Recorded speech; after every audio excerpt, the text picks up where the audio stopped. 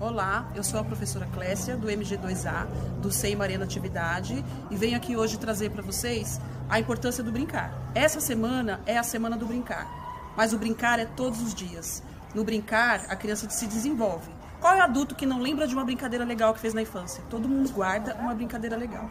Então eu venho trazer para vocês uma proposta é, uma atividade bem divertida com coisas que a gente tem em casa, coisa que a gente joga fora e de repente não se atenta que pode ser um brinquedo bacana para criança. Então eu venho trazer para vocês um quebra-cabeça de bandeja de ovos. Tem um montado aqui, colorido, ele desmonta, ele sai as peças para a gente montar com as crianças. E eu vou trazer para vocês a maneira de fazer. Vocês vão precisar de duas bandejas. Uma será a base. A gente vai recortar do ladinho aqui, para deixar tudo certinho, bonitinho.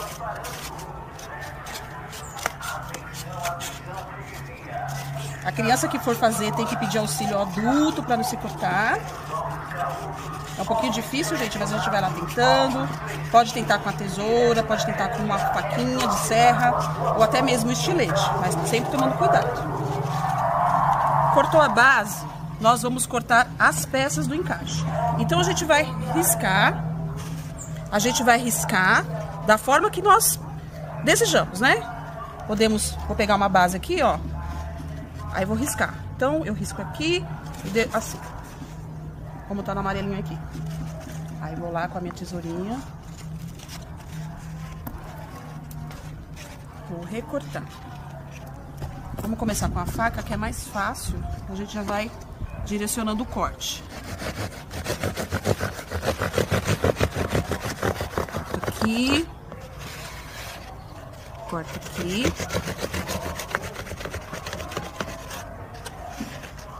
Do lado.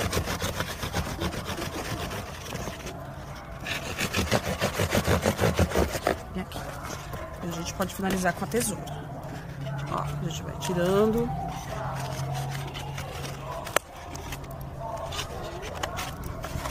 Abrindo. Aí depois a gente só recorta essa rebarba, né? Pra ficar bonitinho. Mas tem que se atentar a cortar todas as formas aqui, todos esses, esses cantinhos, para poder encaixar na bandeja, tá? Não ficar faltando peça. Olha lá, a primeira peça. Certo? A gente tira as rebarbas. Pra ficar bem certo. Aqui também. Encaixa aqui. E dessa forma a gente vai recortando a bandeja, formando um quebra-cabeça. Se achar mais fácil com a, com a faquinha de serra, só pra gente começar e finalizar com a tesoura.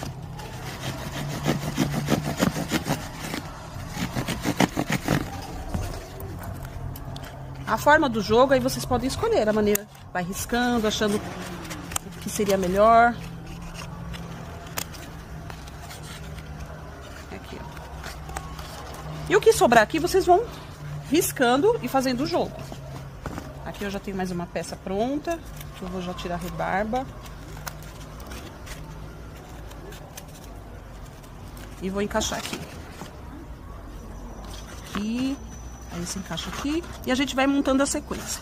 Podemos usar o guache para fazer a pintura, com o pincel.